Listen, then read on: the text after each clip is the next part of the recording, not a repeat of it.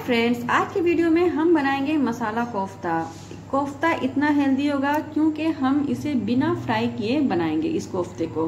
बहुत ही आसान सी रेसिपी है और बहुत ही झटपट से बन जाने वाली ये रेसिपी है। आप इस वीडियो को पूरा एंड तक ज़रूर देखें। अगर वीडियो अच्छी लगे वीडियो को लाइक कर दे चैनल पर नहीं तो सब्सक्राइब कर दे और ज़्यादा से ज़्यादा शेयर करें। बहुत ही चटपटा सा हम यहाँ पे कोफ्ता बनाने वाले तो चलिए वीडियो को स्टार्ट करते हैं। तो यहाँ पे मैंने एक मिक्सी जार में लिया है 500 ग्राम। कीमा, इसमें डालेंगे एक बड़ा चम्मच बेसन। अगर आपके पास बेसन ना हो तो सत्तू डाल सकते हैं, सत्तू ना हो तो आधा छोटा चम्मच आप आटा का भी डाल सकते हैं बाइंडिंग के लिए।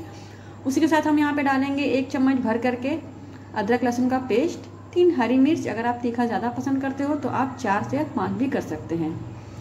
अब हम डालेंगे आधा छोटा चम्मच भुना हुआ जीरा पाउडर। एक छोटा चम्मच हम डालेंगे यहाँ पे धनिया पाउडर। एक छोटा चम्मच हम यहाँ पे ऐड करेंगे कश्मीरी लाल मिर्च का पाउडर अगर आप रेड चिली पाउडर डाल रहे हैं तो यहाँ पे आप थोड़ा सा कम ही डालें। और उसी के साथ हम यहाँ पे डालेंगे आधा छोटा चम्मच गरम मसाला पाउडर इसमें लौंग, इलायची, जावित्री, दालचीनी और बड़ी इलायची डाल करके मैंने पीस के एक होममेड हमारा गरम मसाला है। आप चाहे तो मीट मसाला भी डाल सकते हैं। और अब हम डालेंगे आधा छोटा चम्मच चाट मसाला पाउडर इससे बहुत ही चटपटा हमारा कोफ्ता बनेगा। नमक डाल करके इसमें इसे पीस लेंगे। बिल्कुल अच्छे से। और हाँ नमक मैंने यहाँ पे एक छोटा चम्मच डाला है। ये देखिए, बिल्कुल स्मूथ सामने पीस लिया है। अब हम इसमें डालेंगे, बिल्कुल आपके सॉफ्ट सॉफ्ट से गुले गुले से कोफ्ते बनाने हैं तो यहाँ पे आप देसी घी भी डाल सकते हैं। अगर आपके कीमे में थोड़ा सा फैट हो तो यहाँ पे आप देसी घी को अवॉइड कर सकते हैं, यानी कि स्किप कर सकते हैं। ठीक है फ्रेंड्स तो अब हम इसे अच्छे से मिला लेंगे, क्योंकि हमने देसी घी डाला है। मिक्सी के जार में हमने इसे पीसा है। अगर आपके पास चॉपर है तो चॉपर में भी पीस सकते हैं इसे। ये देखिए, हमने अच्छे से मिलाने के बाद अब हम बनाएँगे कोफ्ते का इसका शेप देंगे, क्योंकि हम यहाँ पे मसाला कोफ्ता बनाने वाले हैं। तो इसे हाथों से पहले अच्छे से दबाएँ, उसके बाद इसको गोल शेप में बनाएँ। दबाने इसलिए होगा क्योंकि अगर आप नहीं दबाएँगे तो कोफ्ते जो मतलब ग्रेवी में जाने के बाद वो फट सकते हैं। तो इसलिए आप हाथों से दबा लें, उसके बाद गोल शेप में दे दें। इस तरह करके हम सारे कोफ्ते हम अपने बना लेंगे। तो कोफ्ते हमारे रेडी हैं, बस अब हम चलते हैं इसकी ग्रेवी की तरफ़। तो यहाँ पे मैंने एक पैन में लिया है, दो बड़ा चम्मच भर करके ऑयल जैसे ही ऑयल गर्म हो जाए, हम यहाँ पे डालेंगे दो हरी इलायची, एक छोटा सा टुकड़ा दालचीनी का और एक लौंग। और उसी के साथ हम यहाँ पे डाल देंगे दो मीडियम साइज़ के प्याज को मैंने मिक्सी जार में पीस लिया है। क्योंकि स्मूथ हमारा जो कोफ्ते हैं, बहुत ही स्मूथ है तो इसकी ग्रेवी जो बननी चाहिए, वो भी बिल्कुल स्मूथ सी, बिल्कुल मुँह में घुलने वाली, एक भी बाइट नहीं आए। इस तरह की ग्रेवी हम तैयार करेंगे। तो इसलिए हमने यहाँ पे प्याज को पीस लिया है। अब प्याज को हमें फ्राई करना है।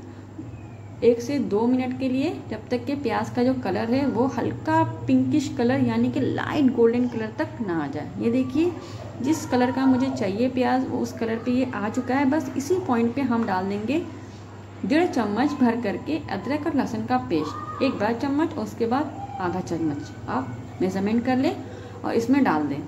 और डालने के बाद इसमें थोड़ा सा हम पानी डालेंगे। एक छोटा चम्मच। और इसे प्याज के साथ हम दो से तीन मिनट तक इसे अच्छे से भून लेंगे, ताकि जो अदरक और लहसुन का कच्चापन है, वो चला जाए। मैं हर वीडियो में आपको बताती हूँ, जब भी आप प्याज के साथ आप अदरक लहसुन का पेस्ट डालें तो इसे थोड़ी देर के लिए आप भून लें। इससे क्या होता है, अदरक का लहसुन का जो कच्चा फ्लेवर होता है, वो चला जाता है। तो यहाँ से देखिए, यहाँ पे मैंने दो मिनट तक यहाँ पे भून लिया है। अब मैंने यहाँ पे डाला है कश्मीरी लाल मिर्चों का पाउडर, एक छोटा चम्मच, इससे कलर बहुत अच्छा आता है। और एक छोटा चम्मच भर करके मैंने यहाँ पे डाला है धनिया पाउडर, आधा छोटा चम्मच जीरा पाउडर और उसी के साथ यहाँ पे मैंने डाला मैंने डाला है आधा छोटा चम्मच हल्दी पाउडर।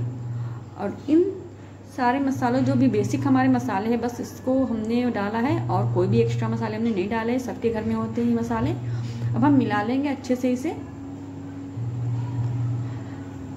ये देखिए फ्रेंड्स अच्छे से मिल गया है।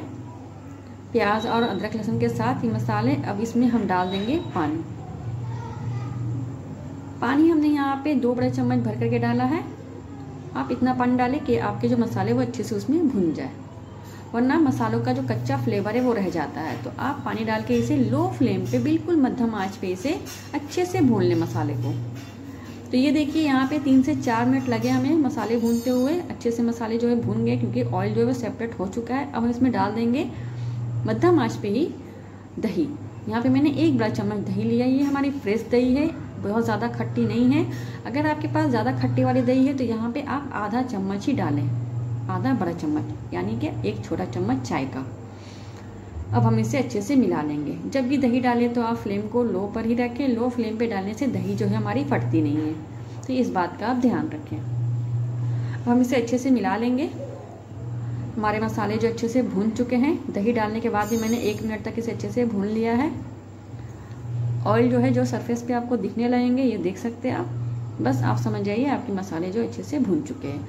अब ग्रेवी के लिए यहाँ पे मैंने डाला है पानी। पानी यहाँ पे मैंने एक कप के करीब डाला है। आप जितना थिक या फिर जितना पतला आप ग्रेवी रखना चाहते हैं, उस हिसाब से डालें पानी को।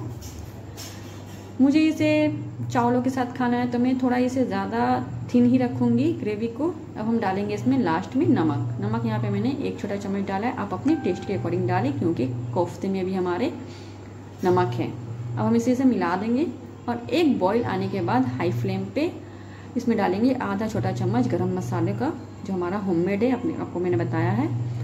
और मध्यम आँच इसे, और जैसे ही एक उबाल आ जाए, बस फ्लेम को कर देना हमें बिल्कुल मध्यम आँच पे, बिल्कुल लो और एक एक करके सारे कोफ्ते हम डाल देंगे इसमें।